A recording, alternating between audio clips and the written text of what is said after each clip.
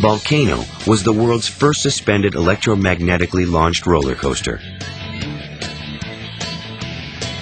The 2,400 foot steel track snakes throughout a 12 story artificial mountain, making even the toughest riders wonder if they might end up as a human sacrifice to the volcano gods. I'm looking at this big mountain. Just like, I guess I'm going inside of it. Apparently, you know, I don't know what's happening in there. Who knows? The ride is a bit confusing and fast. Well, when it first takes off you, it's like just gets you by surprise. You just go around the turn, you think you're gonna uh, stop and go up a mountain like most roller coasters, but it just takes off and you go flying zero to seventy miles per hour in like two seconds. The cars get their speed from cutting edge linear induction motors, or LIMS.